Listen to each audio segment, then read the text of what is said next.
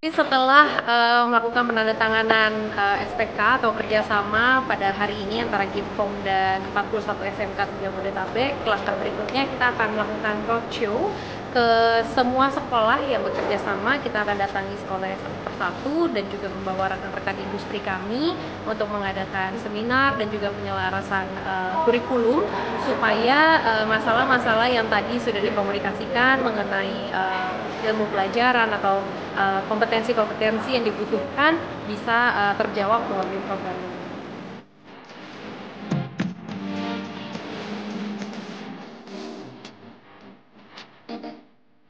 Industri game itu akan berperan sangat-sangat besar. Dan kita di Noktua Games Indonesia itu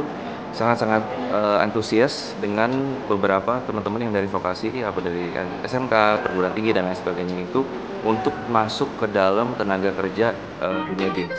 dan kami yakin bahwa itu akan mendorong dan mempercepat industri game di Indonesia untuk kita bisa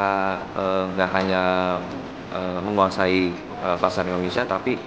ekspor-ekspor uh, game yang luar biasa dari kita.